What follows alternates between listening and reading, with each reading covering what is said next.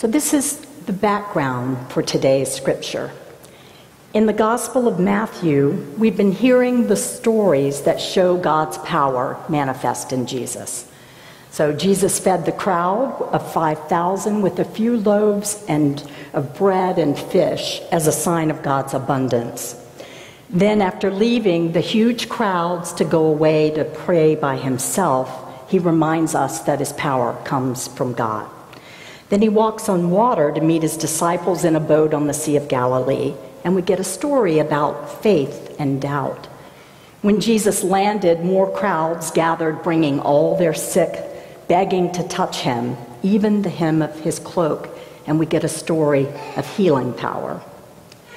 Just after this demanding work, the Pharisees and the scribes, who were the Jewish traditionalists and lawyers, came to Jesus from Jerusalem. They came to give him grief about his disciples' unwashed hands and failure to properly follow the traditions. You can imagine that he was a little testy with them as he called them hypocrites and quoted the prophet Isaiah. This people honors me with their lips, but their hearts are far from me. In vain do they worship me, teaching human precepts as doctrines. This people honors me with their lips, but their hearts are far from me. This is the context for today's passage of Scripture from Matthew chapter 15, verses 10 to 20. Hear now the word of the Lord. Then Jesus called the crowd to him and said to them, Listen and understand. It is not what goes into the mouth that defiles a person but it is what comes out of the mouth that defiles. Then the disciples approached and said to him, Do you know that the Pharisees took offense when they heard what you said? He answered them, Every plant that my heavenly Father has not planted will be uprooted. Let them alone. They are blind guides of the blind. And if one blind person guides another, both will fall into a pit. But Peter said to him, Explain this parable to us.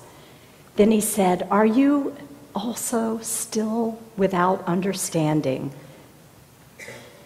Do you not see that whatever goes into the mouth enters the stomach and goes out into the sewer?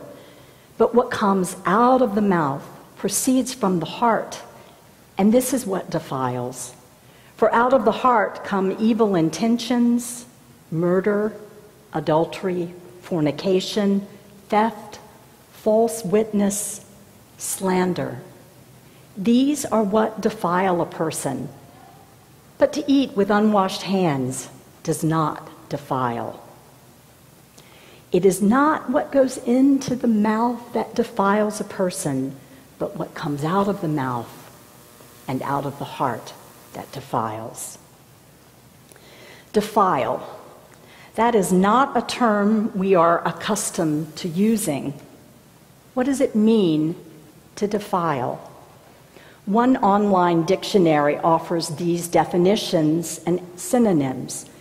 To defile is to sully, mar, pollute, impair, debase, spoil, desecrate, tarnish, taint, ruin, profane, destroy.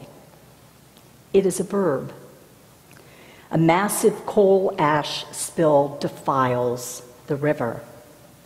It can have to do with people or things.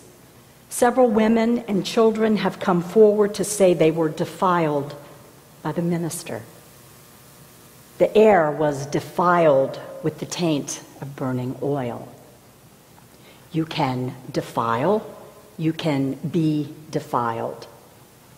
Why did Jesus use this word, defile, and what does it mean for us? The purity laws helped define the Jewish race as a separate people in their time and ours. It gave them traditions and rituals that they could take with them wherever they went when they were scattered and their land was gone.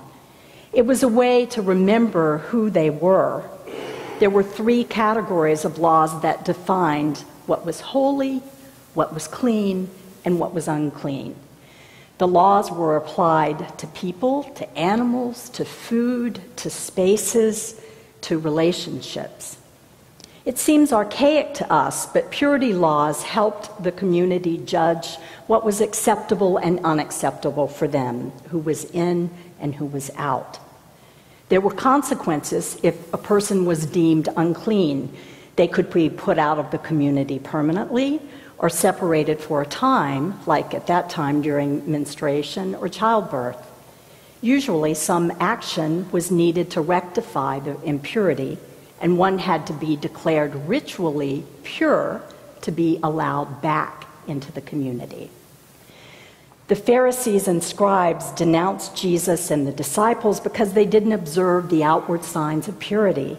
They didn't wash ritually, but more importantly, they hung out with and ate with people considered unclean by the Jewish community, people whose touch and very presence defiled them. But Jesus had no tolerance for that.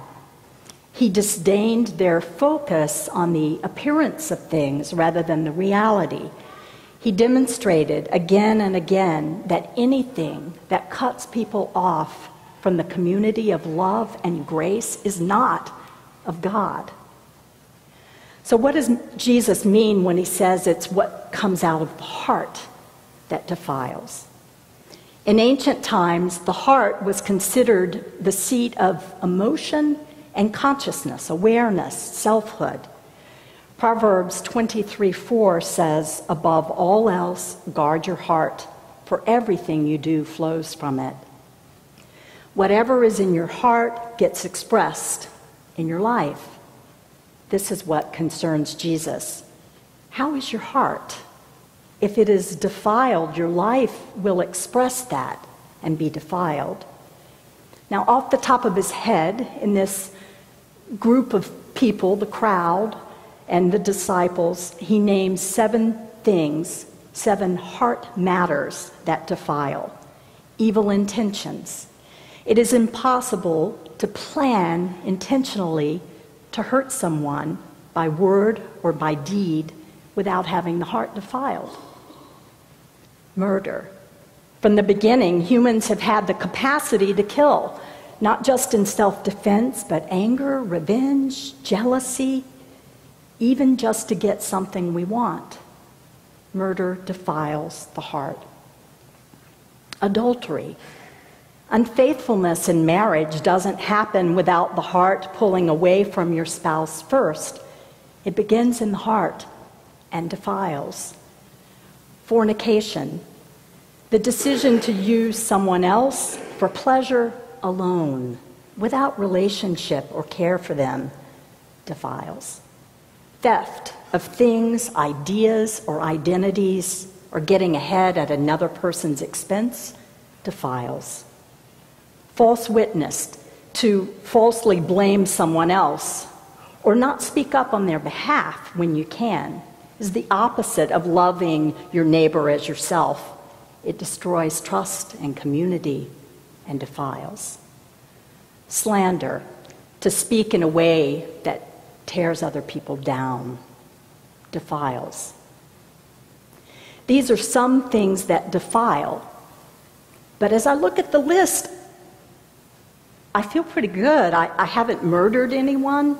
I don't cheat on my husband. And I don't start out with evil intentions. So, am I in the clear? Maybe, on some things, but I don't think this is all that Jesus meant. I think I have some work to do to make it personal for me. I think it's an invitation for us to look at the inside as well as the outside of our lives. The things that defile us may be more subtle, but for all that, no less real. You may have the appearance of affluence and success, yet be consumed by fear. No thing you acquire is ever enough. And for all, all your stuff, you have no true security. Grasping fear defiles. Maybe you've been married for years and always faithful to your spouse, but you can't shake an addiction to porn. Virtual infidelity defiles. Maybe you have tons of friends on Facebook and Instagram and spend hours connecting and yet let no one ever see the real you. Fakeness defiles. Or maybe you get a kick out of reading the latest story of the latest celebrity crash and burn. Delight in the suffering of another defiles. Maybe you're titillated by violence and consume it constantly.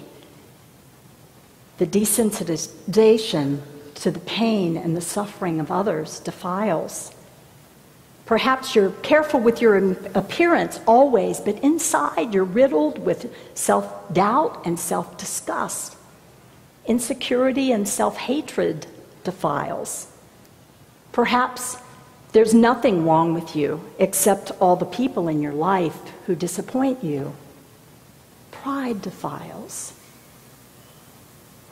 I don't know what this looks like for you or if this connects at all. I'm still figuring it out for myself, and I've had longer for God to be working with me on this than you have. But I think what defiles the heart is anything that puts a barrier between you and God and you and other people. And the only way to remove that barrier is to open your heart and let God cleanse and heal you. And that's what Jesus came to do to restore us to right relationship. It's ritual purity, if you will, not through outward acts, but through an actual indwelling of God's Spirit that makes us whole and holy the Spirit of God, who was in Jesus, who is now in us, grows the love in our hearts and changes us from the inside.